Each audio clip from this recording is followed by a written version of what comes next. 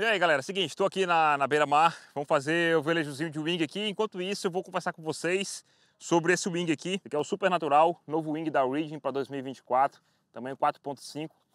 Teve algumas alterações aí em relação ao Super Wing, né? Umas alterações bem interessantes que a gente vai falar aí ao longo desse vídeo. Mas a primeira coisa que a gente vai fazer aqui no caso, antes de conversar sobre ele, é encher essa maravilha. Detalhe bem legal da Origin é essa bolsa que eles fornecem com os wings, porque ela funciona também como uma capa para o seu carro, caso você chegue, vai entrar molhado no seu carro, você pode abrir toda ela e ela funciona como uma capa. Tem bastante espaço também para você guardar seu wing com tranquilidade. Então não tem trabalho para você guardar ele e ficar tentando socar ele dentro daquela bolsa pequena, além de ter uma tela aqui, né, para o wing respirar, se você vai deixar ele muito tempo guardado ainda úmido, né. É sempre legal também falar sobre o sistema de válvula que a Reed usa, que é esse aqui, olha só o tamanho dessa boca. Esse aqui é tão bom, tanto porque ele não solta enquanto você está enchendo, ele fica aqui muito firme, quanto passa um volume de ar muito grande, também na hora de secar. Então seca super rápido, porque ele tem tanto essa bocona aí na hora de encher e secar, quanto também essa válvula lateral aqui, que ajuda a secar seu wing mais rápido e você quando está com pressa, querendo ir embora para casa, você vai conseguir sair muito mais rápido. Né? Então isso é bem bacana também, sistema de válvula bem interessante aqui para inflar seu wing. Você pode ver aqui, está aqui, pressão máxima 8 PSI. É isso que eu coloco nele para deixar ele bem rígido mesmo e responder bem aos comandos, né? Aí uma, uma, novidade legal que eles colocaram agora foi aqui nessa alça, tem, além dela ser rígida, né, que foi um diferencial deles agora, colocar essas alças rígidas, eles deixaram um espaço aqui para sua mão não correr o risco de ficar arranhando aqui uh, no, no bordozinho aqui dessa costela, né? Então ficou bem interessante também, aqui handles rígidos, que o que todo mundo gosta aí, né, para dar a resposta mais rápida legal para race, legal para surfar também. E eles têm aqui uma textura bem emborrachada, mas o formato não é muito redondo, então é, é oval aqui o handle, então ele dá um conforto legal na sua mão também. Quem testar vai sentir isso aí quando estiver utilizando esse wing. Vamos lá para a água conversar mais sobre isso.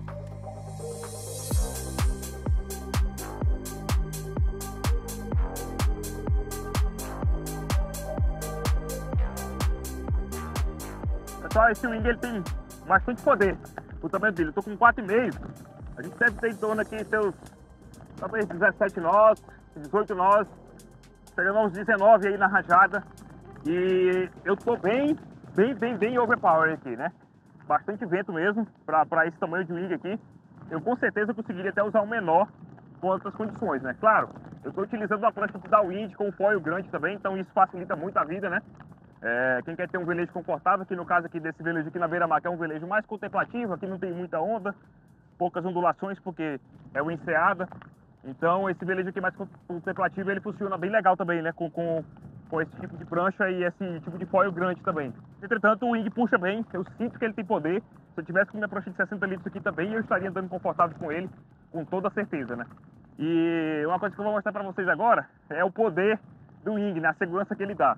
Eu vou em lugares aqui que o kite jamais iria. Se o kite for lá, ele vai estolar, ele não tem segurança para ir, enquanto aqui com o Ing você pode ir tranquilamente, que não tem perigo nenhum, né?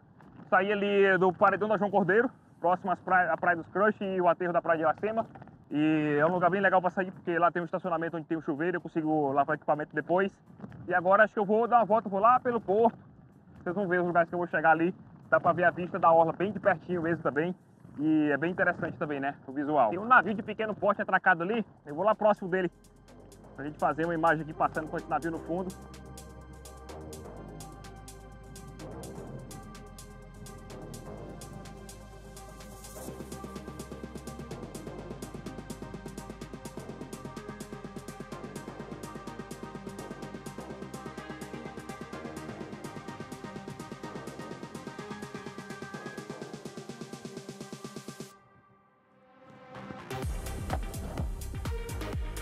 O rolezinho pode até no, não ter muitas ondas, nem muitas ondulações para o cara surfar, mas é muito legal velejar aqui com a, com a vista da, da beira-mar, prédios e tal.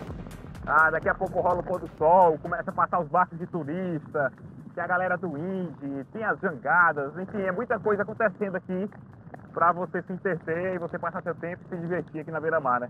É bem interessante também. É um velejo que eu gosto de fazer quando eu não estou com muito tempo ou quando eu quero apenas curtir assim, um visual interessante velejo mais solitário, mais, mais contemplativo, né? Por assim dizer.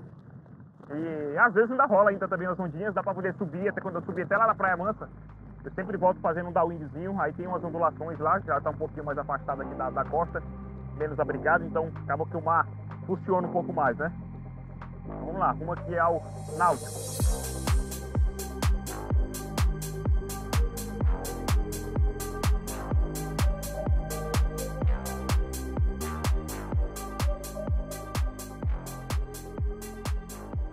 Vento fica um tanto mais rajado aqui. Cai, sei lá, pelo menos uns 4 ou 5 nós. Mas ainda dá pra brincar ainda. Me afastando um pouco mais aqui do paredão fica mais fácil.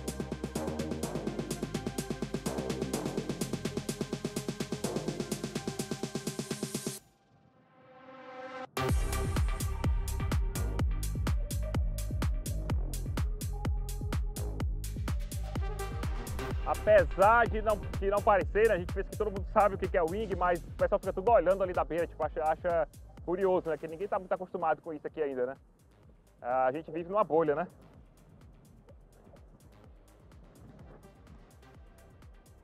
E pessoal, chegou a hora da gente falar sobre o patrocinador desse vídeo, isso mesmo, a Orca Sports orgulhosamente está patrocinando esse canal e a Orksport nada mais é do que uma das maiores lojas de kitesurf do Brasil. A Orksport conta com uma vasta gama de equipamentos, onde você vai encontrar trapézios, hidrofólio, kite, prancha bidirecional, wing, tudo que você precisa para estar tá na água se divertindo tem na Orksports. E as melhores marcas. A Orksports trabalha nada mais nada menos com Armstrong Foils, Reading Kites, Crazy Fly, Pro Limit, e várias outras marcas incríveis aí para que você tenha o velejo perfeito. Então, se você quiser, tiver precisando de algum equipamento, você pode visitar o site da Orc Sports. Vou colocar o link na descrição, vou colocar QR Code na tela para que você tenha acesso fácil.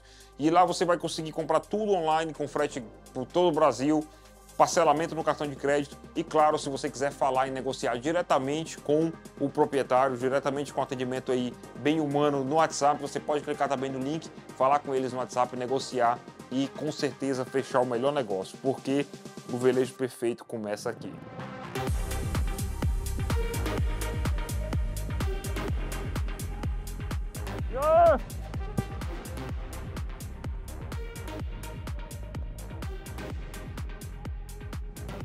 Chegar muito perto agora dos navios aqui do porto.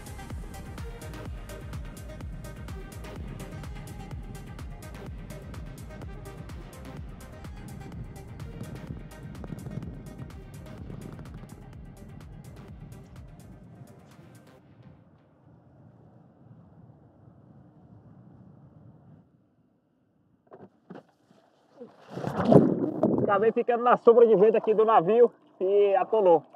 Mas é só dar uma remadazinha aqui, sair voltar de novo para onde tem vento. E vai dar certo e vou conseguir decolar de novo. Acabou o vento! Aí aqui, já consigo sentir o vento já que eu já estou fora da, da linha do navio. Aí dá para decolar e passar de novo. Irado! Voltando a falar sobre esse wing, wing maravilhoso. Realmente a Rig melhorou bastante o Wing.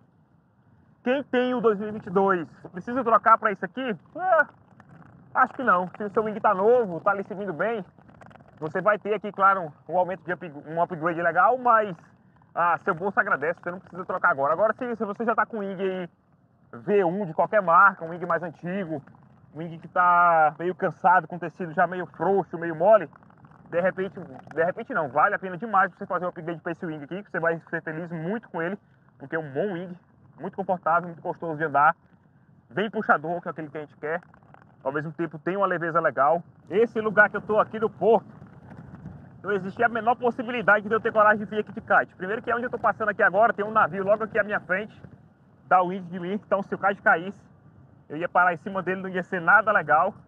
Então eu jamais viria aqui de kite, mas de wing, ó, você vê as possibilidades, né? Eu tô passando muito perto do navio. Olha ali. E agora vamos descer lá para beira-mar.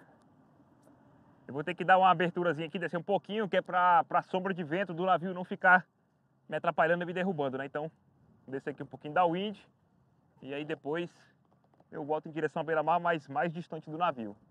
Deu certo, tá aí o navio lá no fundo. Aqui já não tem mais a sombra dele.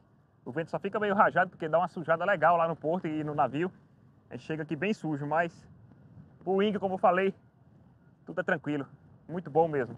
E galera, espero que vocês tenham gostado do vídeo aí. Mais uma vez, muito obrigado se você assistiu até aqui. Fico feliz demais aí com o apoio de vocês aqui no canal. E é claro, a gente se vê no nosso próximo vídeo, né?